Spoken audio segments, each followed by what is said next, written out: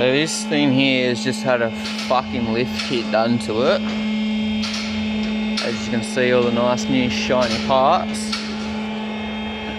And that's what I'm dealing with right now.